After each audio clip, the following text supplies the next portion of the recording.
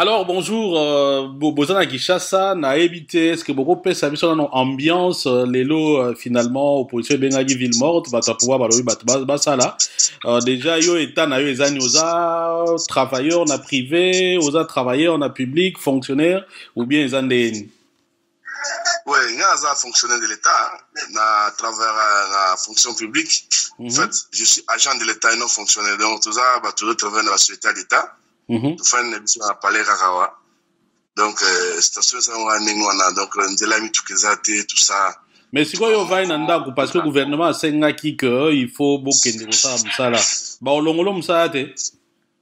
ah bango moko bato bapesi ba ordre dans ese bamonani moi je suis ici à la maison depuis le matin mais j'ai essayé obenga bapolicier oyo bazala devant batima na biso na ville Mhm. moko na bango aza mwasi ayebisi ngai abi papa fana na yo meme ata chef ye moko aye te donc na dame na vie question eza te bafani na bango wana baza bagardien ya bâtiment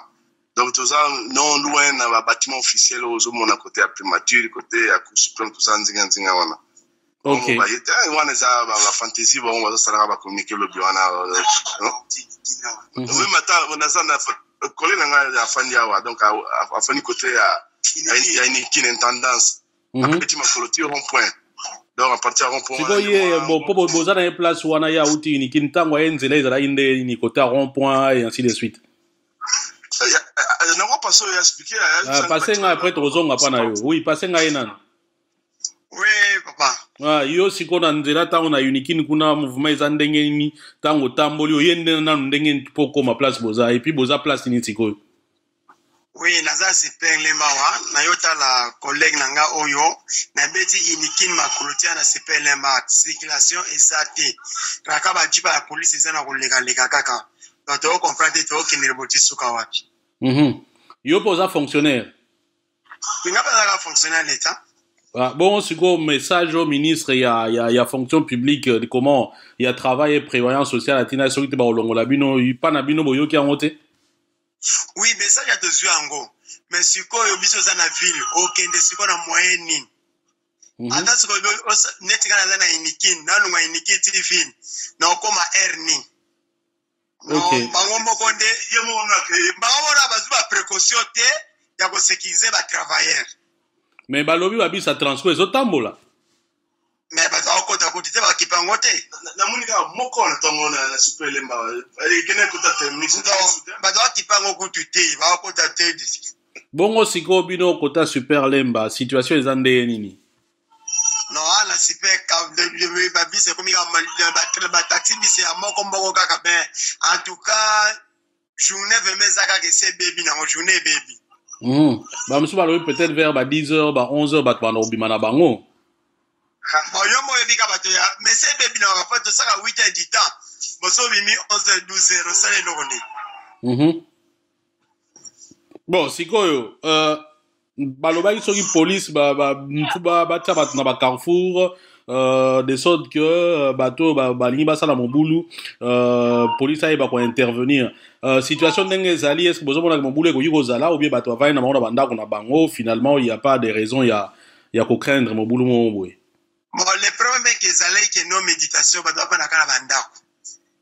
alors mhm. mobulu yango ebima il faut nanu soit eza bamarche ya nini po c'était prévu que no pouvoir mpe ainjecte bato nde na libanda me esimbi te oso pouvoir meka koinjecte bato nde na libanda wana enge eza nde mobulu ok toyokaki ke bango mpe bazalaki na manifestation faye basala lelo toyoki finalement ke baannule yango balobi que balobi que nani euh, hôtel de ville apesi bango euh, euh, autorisation te euh, bon bino finalement en tant que ba fonctionnaire toyebi te parce que nazoka na ton na bino c'est comme si bozo ko approuver quand même euh, journée ville morte wana alors que bozo salela gouvernement oh mais oseki nde toza gouvernement biso toza biso nyonso na kati ya population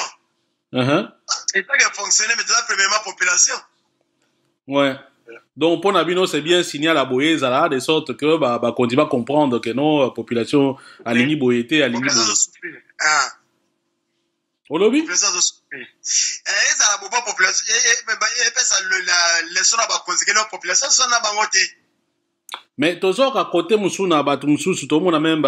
bandeko ba, mosusu bajournaliste toyebi te soki baza ya pouvoir ou nini baolakisa bafoto mosusu balobi ke non gambela bato bazali na marché ya liberté bato bazali vie eza nango normal eloko moko esalami te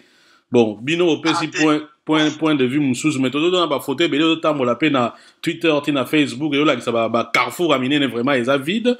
euh, sikoyo bozomona te ke quelque part mwa contradiction ezali peut-être bato mpe bakondima bino te toyebi te ese bafoto yango ewuti wapi wana pasi okoti okoti na neti no okomona na bukavu kuna eza paralyse lubumbashi eza paralyse mhm. ozoya bukavu kuna ekoti wana ndembo efosoye kinshasa te bino boza na kini tolobela kinshasa bino boza na kini ah. neti yo par exemple soki owuti intendance ozoya rond point ngaba to mwa bawenza mike mike ezalaka mwa ebele place wana deja na rond point ngaba a partir ya mpo bamituka ekendaka lufu uh, banini carrefour monene eza wana mai tomoni bafoto mosusu eza vide mai yo ozalaki sur place ese okoyebisa biso verité sur ce que oconstate réellement oui batino foto ya rond point ngaba kasi batino foto ya rond point ngaba mpo oconfirme eloko moko eza te Mhm. Ah, elo moko eza te elo moko eza te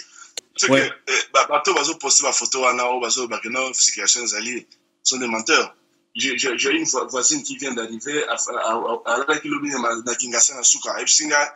mpo na tuni yabi ndenge nini kuna bisika bisika outi abi ab- abeti pie kingasa na suka azwi nde transport na pascal mais Mhm. transport eza mpe timide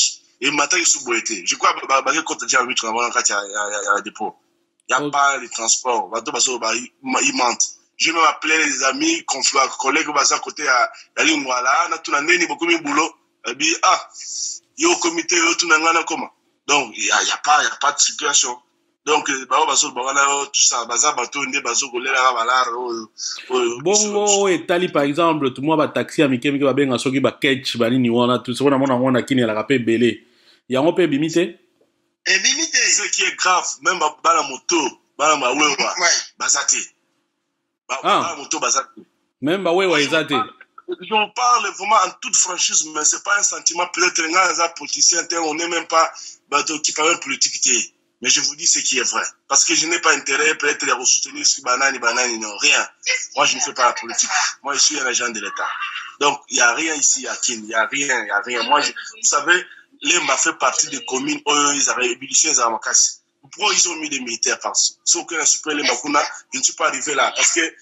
de chez moi ici jusqu'à super lemba c'est pratiquement 50 mètres de loin là-bas il y a quelqu'un m'a plaque non na super lemba kuna na na na na na réseau que ne vers ngaba kianza il y a des militaires qui sont assis tout long ya la chaussée wana